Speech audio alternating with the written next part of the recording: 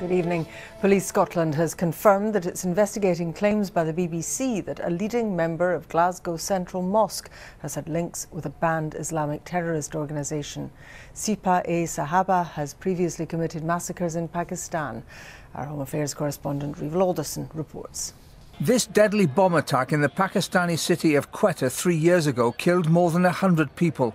It was carried out by the armed wing of a banned group, Sipah-e-Sahaba, which targets Shia Muslims and other minority groups, including Christians. These documents detail how Sabir Ali, a leading member of Glasgow Central Mosque, was named as Scottish president of Sipah-e-Sahaba. After it was banned in Pakistan and in the UK, he hosted a memorial service at the mosque for the group's assassinated leader. This journalist and writer on Pakistani affairs is shocked there should be links between Scotland and the terror group.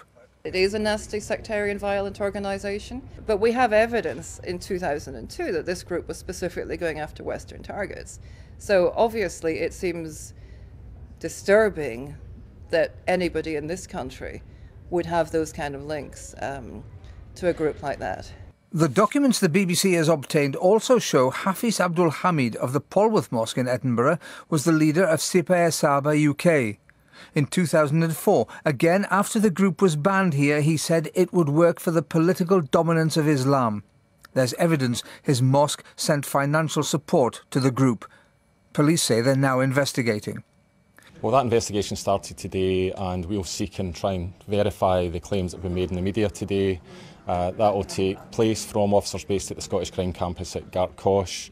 Um, it's hard to say how long that will take, uh, but we'll make every effort to get to the bottom of the, the claims that have been made today as quickly as possible. Today's BBC revelations and earlier claims about the Imam of the Glasgow Mosque, Scotland's largest, led to a hastily convened news conference involving the wider Muslim community.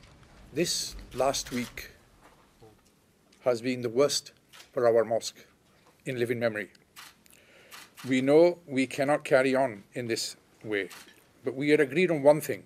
We are determined to continue to enrich the community fabric of Glasgow and Scotland, building on our proud heritage, and we look confidently to the future in a spirit of inclusion and unity.